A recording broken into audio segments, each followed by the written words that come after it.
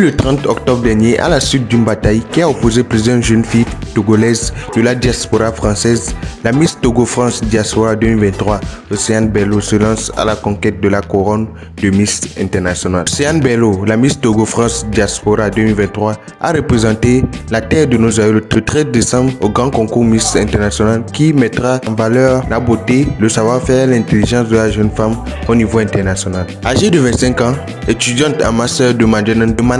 international et arrière-petite-fille de la diva Bella Bello, Océane Sian Bello fait partie des favoris de cette compétition. Ses sorties sur Instagram témoignent de sa beauté, de son intelligence et de son charisme pouvant, prouvant ainsi qu'elle mérite bien de porter cette couronne. Rappelons que le concours Miss International de cette année s'est déroulé sur le territoire japonais et l'actuelle tenante du titre est la Thaïlandaise